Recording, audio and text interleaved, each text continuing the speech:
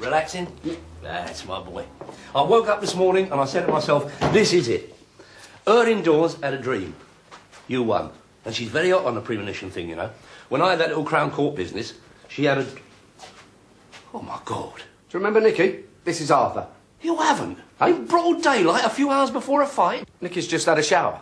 We were jogging. Well, that's what they call it nowadays, is it? Arthur. You realise what you're doing, don't you? Draining your vital fluids. That's for you, miss. Any more like you, there'll be four million on the old King Cole. This is my day off. Oh, yeah, handing out your supplementary benefits. Well, listen, you. Look, I'm sorry, I didn't warn you about him, did I? And I don't like his innuendo. Well, cover yourself up for a start. I'm as liberal as the next man. No, you're not. I walk into a well-known bird bandit's lair. Shut up. Find some comely Richard flaunting her Harris round a gaff. We were just about to have some tea. Tea? You're supposed to be having a medical check. All right, no sweat. No sweat. I'm the one who's sweating.